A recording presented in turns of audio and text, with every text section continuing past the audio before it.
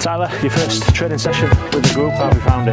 Yeah, I, I enjoyed it. It was a good, good little run out for me. Um, coming back from international, obviously good to get get in with the lads and, and start my first my first time here. This is a probably a good way to, to meet everybody coming away up here to Scotland. Yeah, yeah, it's been great. Like journey up to get to know people, and then finally the first session, like just bonding a bit more. You know what I mean?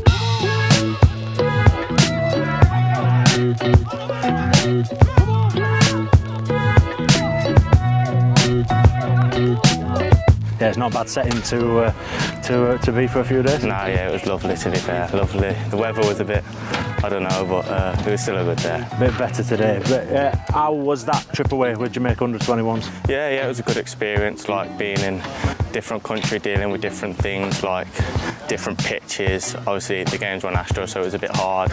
Different conditions to what I'm I'm used to. So it was a good challenge, and uh, yeah, enjoyed it, and grateful for the experience. Do you very much feel that you're up to speed as you come and join up with the group? Yeah, yeah, I feel like I've had that mini pre-season almost before coming here. So yeah, You're looking forward to getting that first game under your belt in Rovers colours at this time next week? yeah, yeah, definitely. I can't can't wait to get a game under my belt. To be fair, um, looking forward to hopefully getting some goals and assists and stuff like that. What have you made to the lads in the group? Say again, sorry. What have you made to the lads in the, in the group? Oh, they're great. They're great set of lads. Like very welcoming stuff like that. That made me feel part of the group already. So, yeah, yeah, great lads.